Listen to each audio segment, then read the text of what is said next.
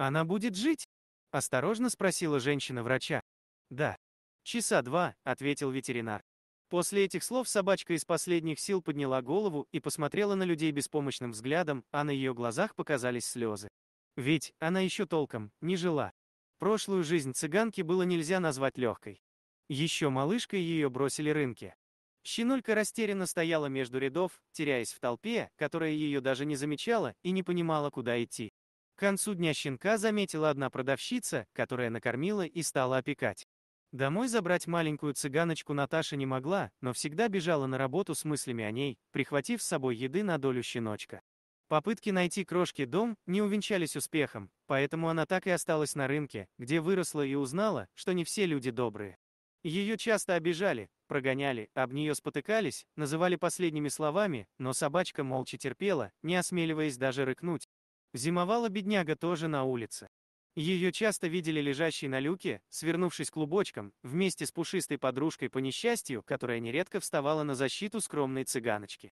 Потом Наташа стерилизовала их, но люди все равно не успокоились, и животных приходилось часто спасать от нападок недовольных самим нахождением собак на рынке.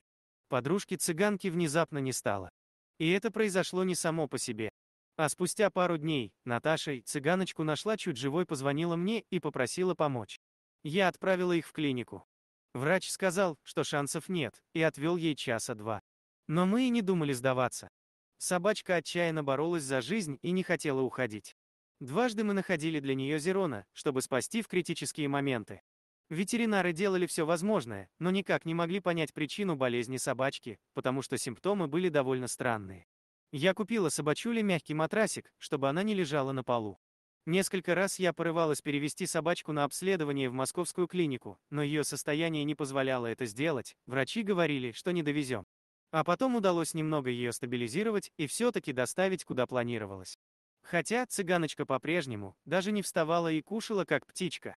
В шикарной московской клинике приняли цыганку как родную и сразу же собрали консилиум относительно ее состояния, но эти врачи некоторое время находились в замешательстве, пока не нашли истинную причину. Весь персонал жалел и поддерживал пушистую тихоню, которая, кажется, от людей ничего хорошего уже не ждала. Она никогда не мешала работе врачей, не показывала характер, но тряслась как осиновый листик и сидела в своей клеточке как мышка, чтобы никого не напрягать. Но со временем собакушка стала доверять и московскому куратору Оле, которая навещает там цыганочку и других наших пациентов с вкусняшками, а также своим добрым ангелам-хранителям в белых халатах, которые за месяц сделали невозможное, практически вернув ее к полноценной жизни. Мы еще лечимся, и опасений за жизнь больше нет.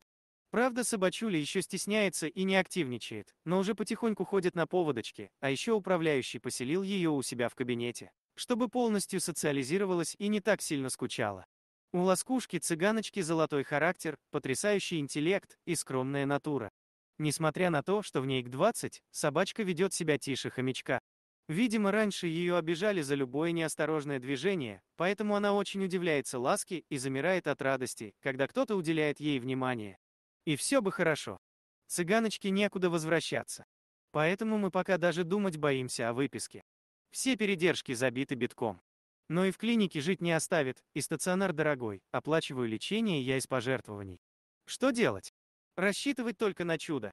А точнее на ваше неравнодушие и благородный порыв удочерить несчастную страдалицу-цыганочку и помочь забыть ей грустное прошлое, окружив теплом и заботой. Спасибо за уделенное внимание.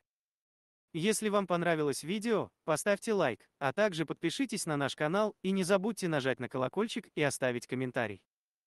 До новых встреч!